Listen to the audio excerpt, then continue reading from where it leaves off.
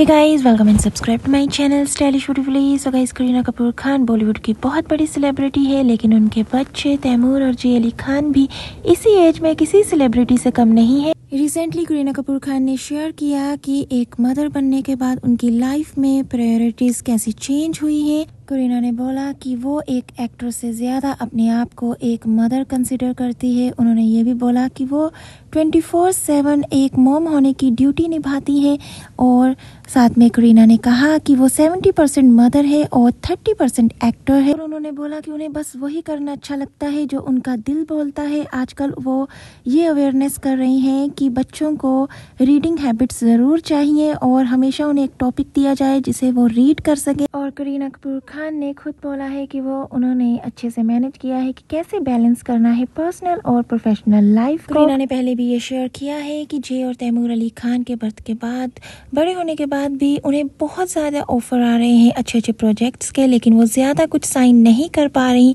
क्योंकि उन्हें अपने बेटों का भी ध्यान देना है और वो उनके पास रहना चाहती है, ज़्यादा आउटडोर शूटिंग नहीं करना चाहती, उनसे दूर नहीं रहना चाहती।